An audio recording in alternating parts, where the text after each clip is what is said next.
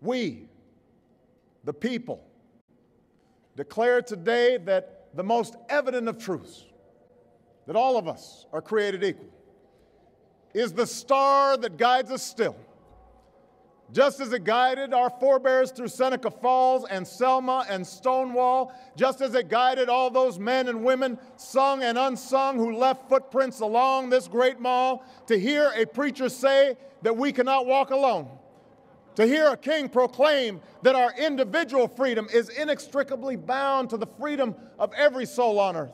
So today we welcome Stonewall and Christopher Park into the family of the Grand Canyon of Yosemite, of the Statue of Liberty, of America's most important places, and that this story is a key component to the American experience.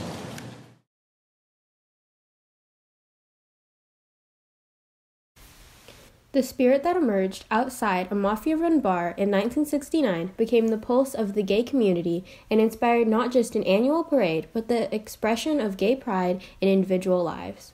Stonewall happens every day.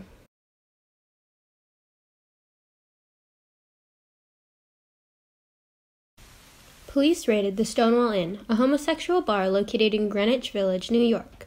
The people in the village and the bar patrons decided they had enough of the treatment of the homosexual community and resolved to riot against the police force.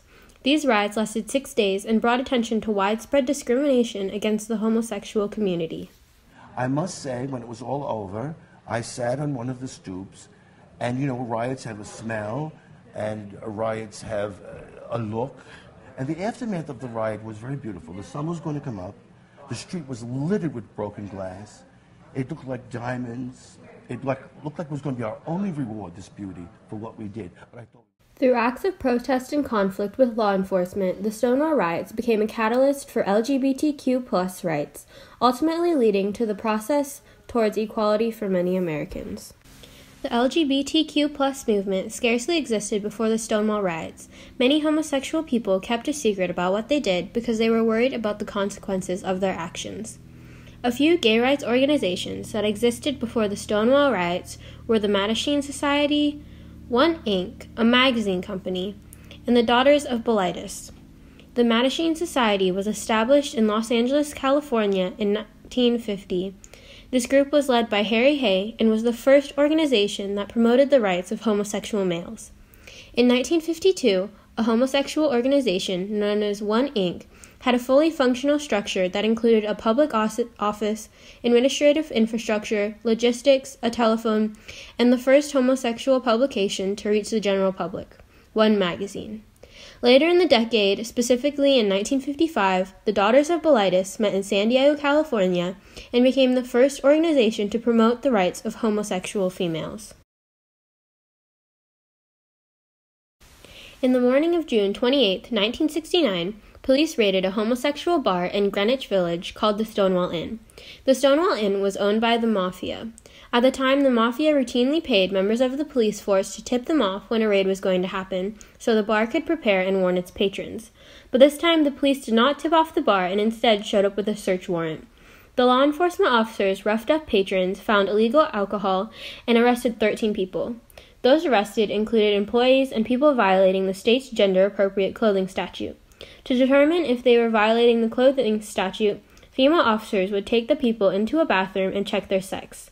Bar patrons and neighborhood residents had become increasingly fed up with police harassment and social discrimination. Just the right time and the right place.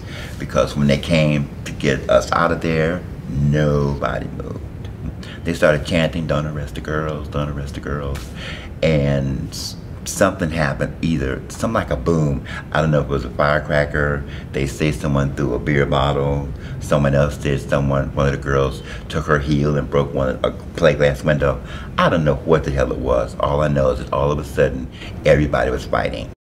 While the police were dragging employees and patrons out of the bar, other angry patrons and neighborhood residents stood outside the bar, watching the raid unfold.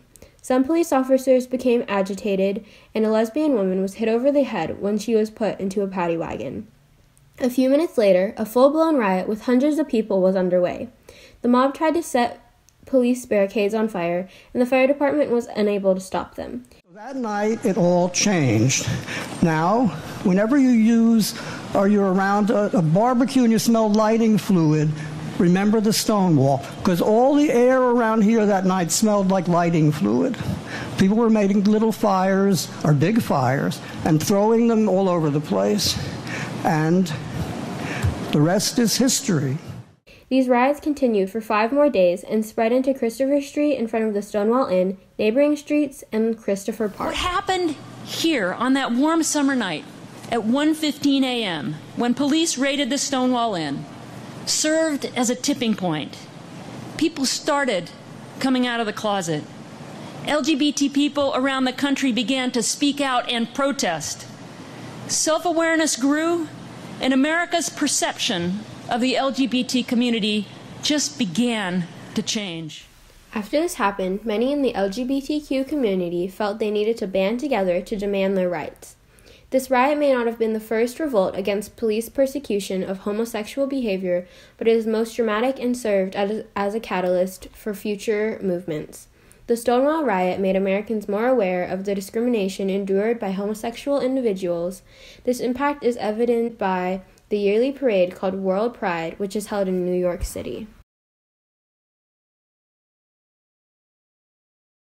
This movement, though long and hard fought, ultimately resulted in the decriminalization of sexuality and the legal and cultural acceptance of LGBTQ plus people in American society, including such rights as openly serving in military and marrying a same sex partner.